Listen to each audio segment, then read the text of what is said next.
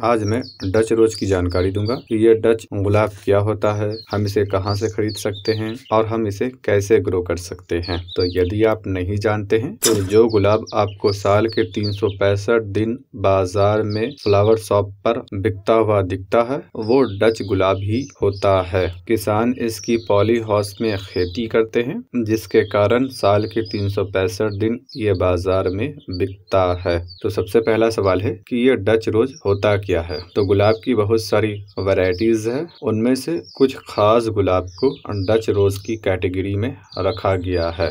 Dutch रोज में आपको बहुत सारी वैरायटीज देखने को मिलेगी और अभी तक मैंने इसका छह कलर देखा है। हो सकता है इससे ज़्यादा कलर में भी ये आता हो।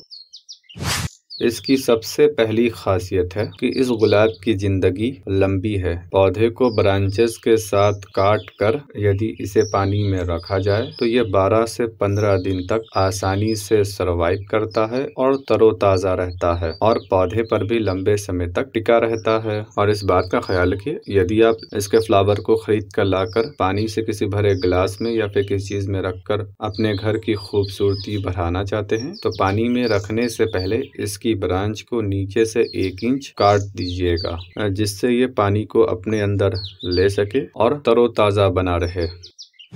इसकी दूसरी खासियत है कि ये गुलाब धीरे धीरे खिलता है, एकदम से नहीं खिल जाता है। इसकी तीसरी खासियत है कि इसमें पंखुड़ियों की संख्या ज़्यादा होती है। इसकी बहुत सारी वैरायटीज है और उनके फ्लावर में 25 से लेकर 40 तक पंखुड़िया होती है। इसकी चौथी खासियत ये है कि इस फ्लावर का सेप, यानी इसकी बनावट खूबसूरत होती है। बिल्कुल कप सेप में है, लेकिन इसकी ये बनावट कुदरती नहीं है, बल्कि जब पौधे में कली लगी हुई थी तो कली में बर्ड नेट को लगा दिया जाता है। मेरे पास डज रोज की तीन वैरायटी है। एक ये वैरायटी है, इसका नाम है ट्रॉपिकल अमेजोन और दूसरी ये है व्हाइट एवेलेंच और तीसरी ये है अभी छोटा है, इसका नाम है जुमेलिया।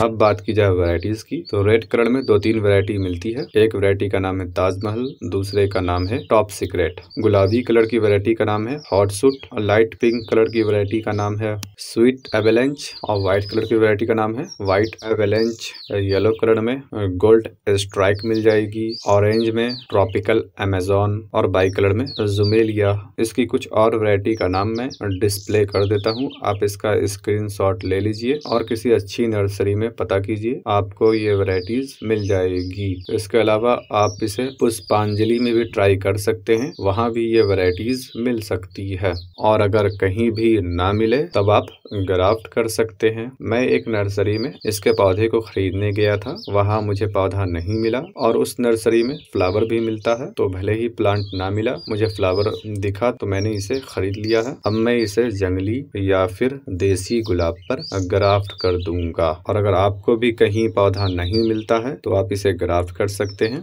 इसे आप विंटर सीज़न में ग्राफ्ट कर सकते हैं। बरसात के मौसम से लेकर मार्च महीने तक गुलाब को आसानी से ग्राफ्ट किया जा सकता है और ग्राफ्ट हो भी जाता है। इसे कैसे ग्राफ्ट करना है, उसका वीडियो मेरे सेकंड चैनल पर मिलेगा। आप जाकर देख सकते हैं। मैं लिंक डिस्क्रिप्शन में दे देता हूँ और मैं इसे ग्राफ्ट करके अपडेट के साथ इसका भी वीडियो अपलोड करूँगा। तो उस चैनल को विज़िट करना मत भूलिएगा।